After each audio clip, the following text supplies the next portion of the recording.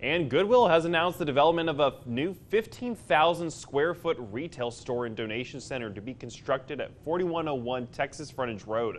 The former Harley Davidson facility will undergo a major transformation designed by local architects. Construction is set to begin with this month with an anticipated nine-month completion timeframe.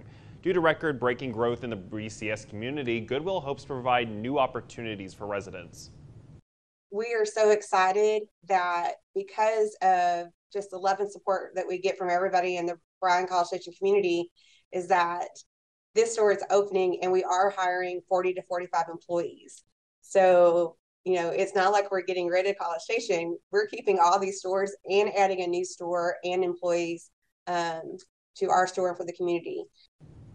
And the new facility will be offering a minimum starting pay of $11 an hour.